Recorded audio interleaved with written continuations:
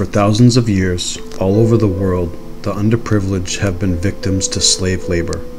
Oftentimes, these workers worked in deadly conditions with little to no pay. There has always been revolt against such oppression.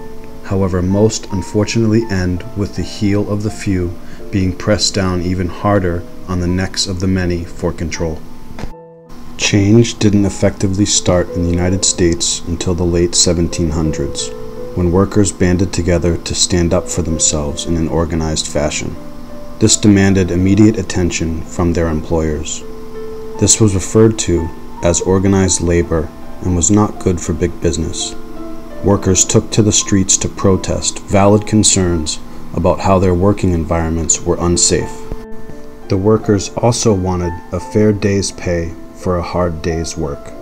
This is especially important in the 1850s because of the rise of monopolies.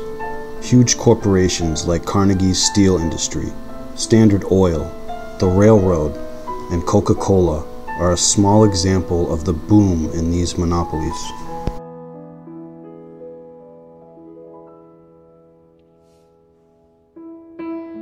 In 1881, the Federation of Organized Trades and Labor Unions was formed.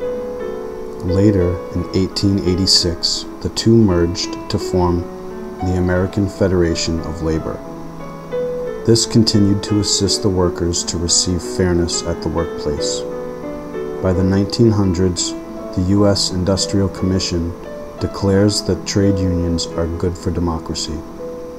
Strikes and protests unfortunately still happen today, but with regulations on safe working environments becoming ever more prevalent in modern times, the need for unions is fading. Union membership today is becoming a long lost necessity. The youth aren't being brought up in a union based society. If capitalism continues, the need for unions will be commonplace. The youth need to be aware that unions are helpful. Unfortunately, today, youngsters think of unions as marriage and not as a collective of workers banding together for equal rights.